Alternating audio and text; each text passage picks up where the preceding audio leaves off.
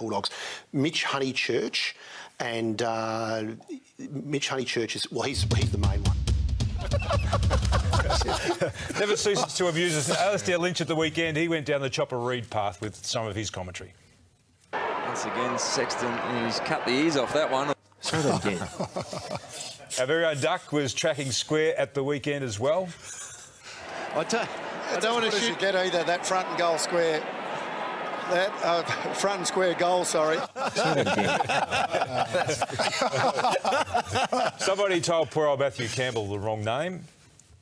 Well, it's a pretty tight game for all the numbers on this game. Let's go to Matthew Campbell from Crown Bet. Thanks, Hutto.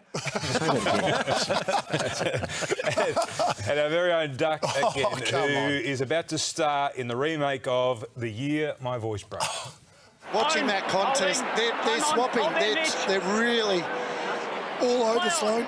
So Sloane, as just Duck runs out a bit of petrol there, goes high. Say that again. Oh, very funny.